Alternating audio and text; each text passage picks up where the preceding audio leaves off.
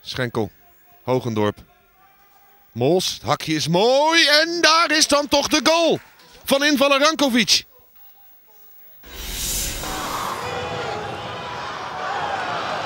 Ami, uh, geen last meer van John. En een mooi voorzet en een prachtgoal van Knopper.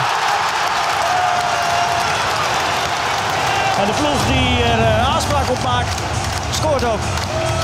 Zijn achtste van het seizoen. Immers. Piqué. Bal van richting veranderd. En daar is hij dan toch de gelijkmaker. Hij was mooi meegelopen, Danny Buis. En zo is het in de 27e, bijna 28e minuut 1-1. Dat had Bodoel anders kunnen laten zijn. En nu blijven de kansen. En is er de gelijkmaker al snel.